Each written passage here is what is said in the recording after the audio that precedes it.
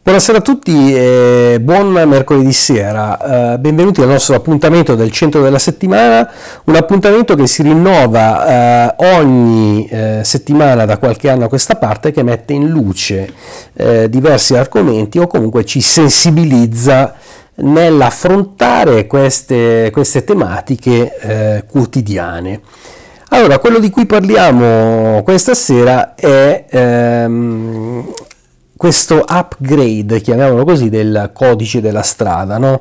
con eh, multe che si aggirano, uh, si attestano a 4.000 euro per gli eccessi di, di velocità ehm, fino a una certa, fino a una certa mh, mm, caratura naturalmente, no? Cioè parliamo di 40 km orari o 40-60 km orari oltre il limite, oppure di eh, divieto di sosta da 800 euro.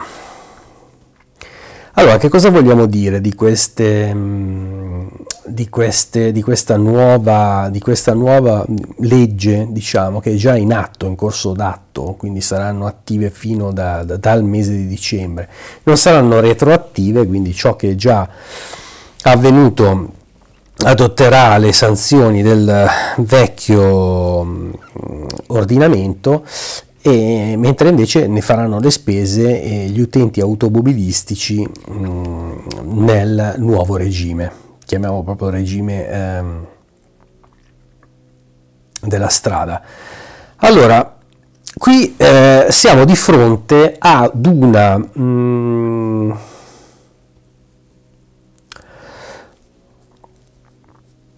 ad una vera e propria eh, è come minare il, il territorio, il campo su cui si muove l'automobilista.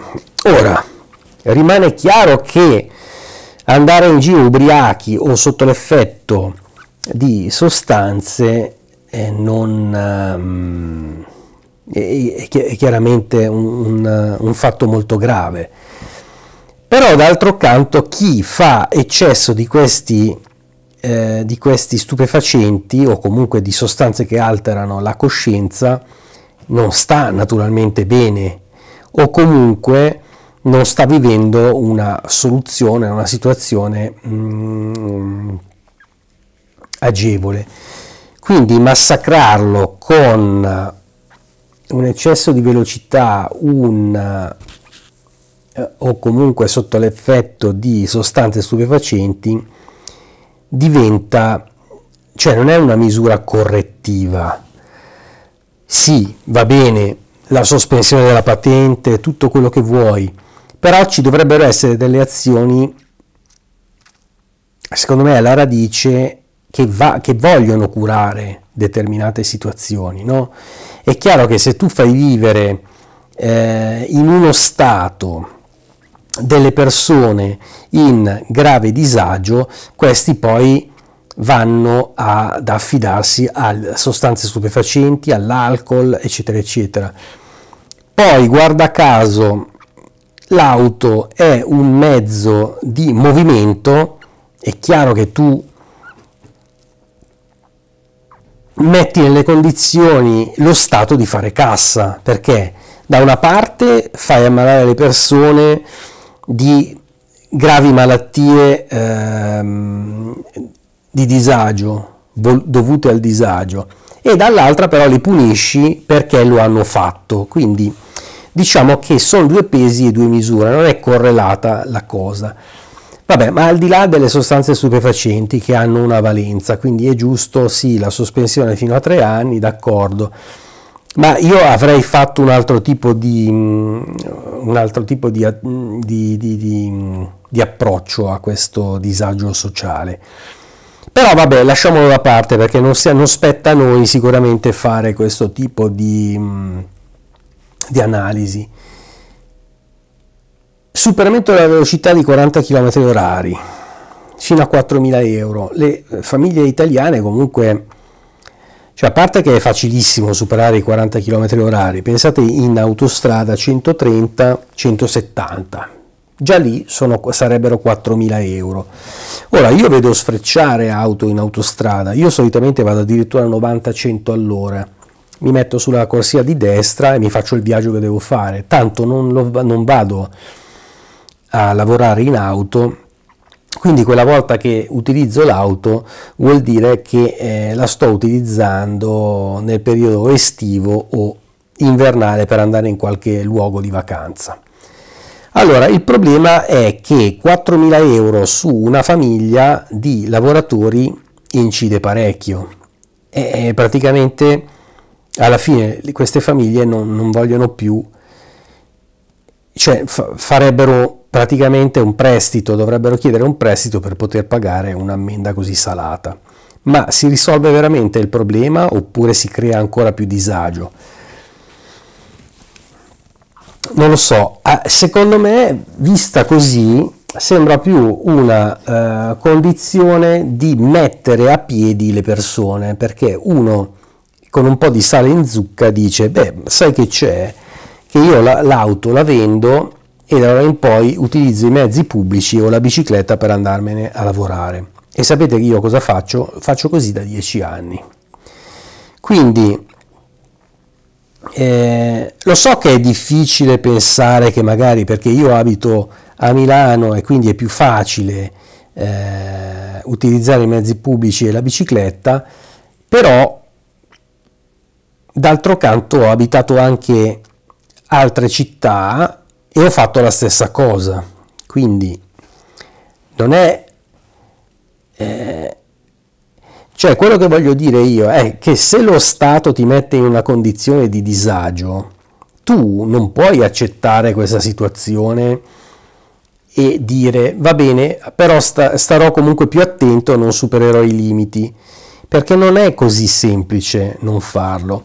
Io mi sono ritrovato a portare l'auto ehm, per la revisione allora cosa è successo? Ho passato un incrocio e non ho visto il semaforo, ma beh, sapevo che c'era il semaforo, ma guardavo a vista all'orizzonte e non l'ho notato. Poi avendo gli occhiali comunque con una montatura pronunciata e non andavo neanche veloce perché sarò stato sui 30-40 all'ora massimo.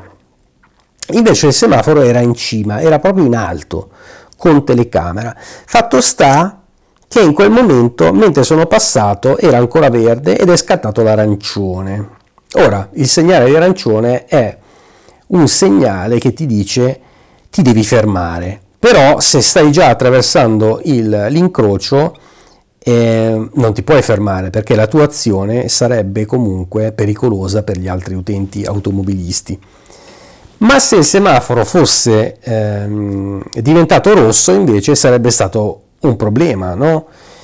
Quindi pensate a queste ammende, quindi è lo Stato a voler fare cassa, quindi non è che per una distrazione prendi un'ammenda perché devi stare più attento, no, qui è veramente fare cassa a spese degli italiani e questo non è, non è giusto.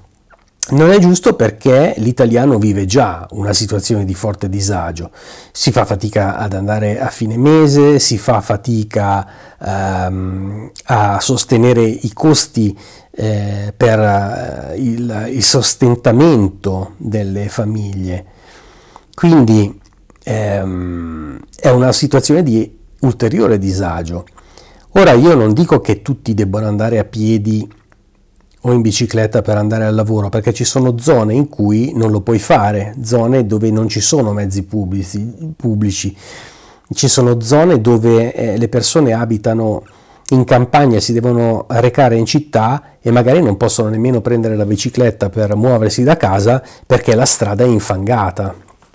Quindi se ti devi recare in un ufficio a lavorare, non è che puoi fare la strada con gli stivali eh, coperti di fango e poi metterti le scarpe eleganti. Non è, cioè siamo nel 2024 a ridosso del 2025, non siamo negli anni 50.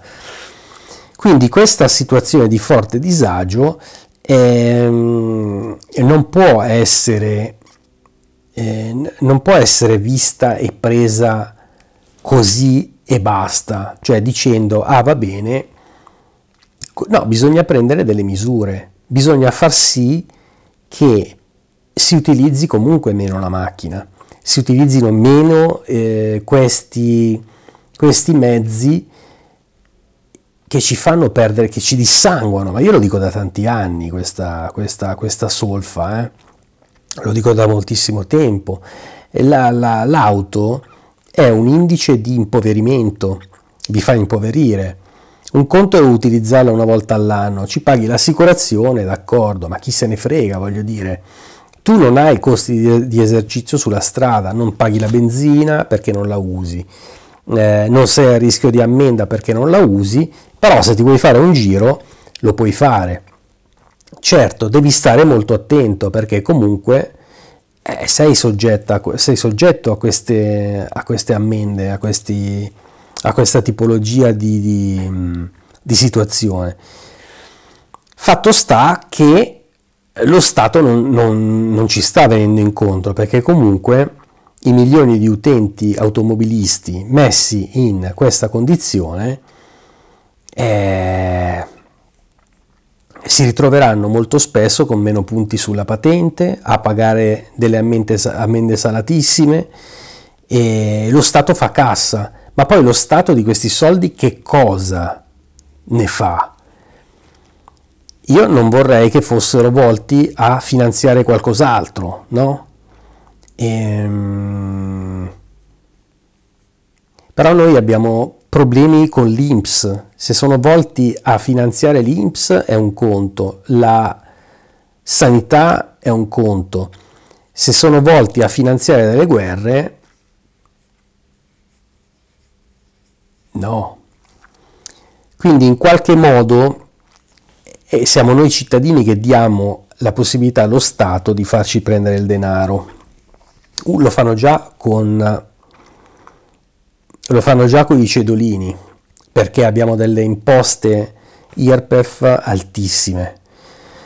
Lo fanno già con, siga- con le sigarette, lo fanno già con la benzina, lo fanno già con l'alcol, lo fanno con le accise, con la benzina e mm, adesso anche sulla circolazione. Quindi sta diventando un paese piuttosto invivibile. Eh, bisogna fare qualcosa, bisogna circoscrivere tutte queste aree in cui lo Stato preleva del denaro al cittadino e non utilizzarle più, il meno possibile. Il meno possibile.